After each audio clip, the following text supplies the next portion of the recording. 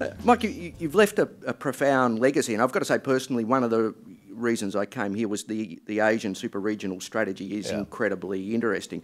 I mean, there, there's few organisations that have rebuilt their strategy and their intention to the degree, to the degree that ANZ has in this period.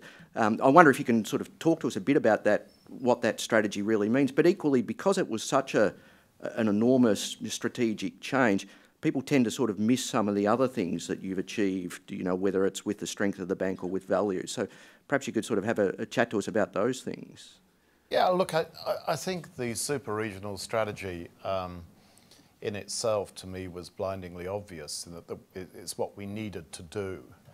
Um, uh, it, it, hasn't been as obvious to the rest of the market, I've since found out. But you know, that's, that's one of the things that we you know, have, have had to work against eight years ago, it would not have seemed possible to be where we are right now. And I think that um, my peers um, in the international banks around the world um, look at ANZ as a, as a, as a model. You know, they, they look at it as, a, as an example of what could be, can be done.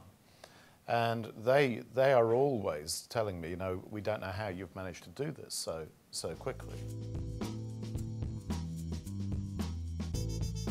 Wasn't just about building out the regional footprint, it was also about strengthening our home yeah, business. Absolutely. And the whole Banking on yeah. Australia program, that has been enormously successful. I mean, you know, to some extent it kind of gets hidden a little bit. Perhaps um, people don't notice it as much as they should. But the reality is that business has been growing market share, which is essentially what it's all about. Profitable growth and market share, more customers choosing ANZ every day for five, it will be five and a half years now.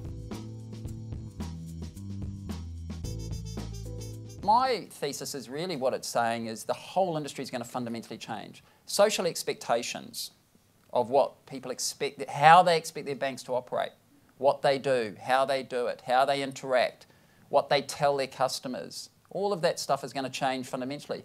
That doesn't just mean, oh, we have to do a few apps or change the terms and conditions on our credit cards, or all that stuff.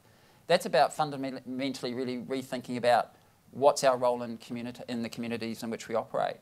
And so I think there's going to be whole new business models that emerge as a result of that.